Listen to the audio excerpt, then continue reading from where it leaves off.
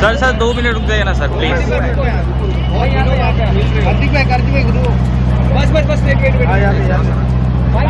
Kartik sir Kartik sir. तो नहीं मिला है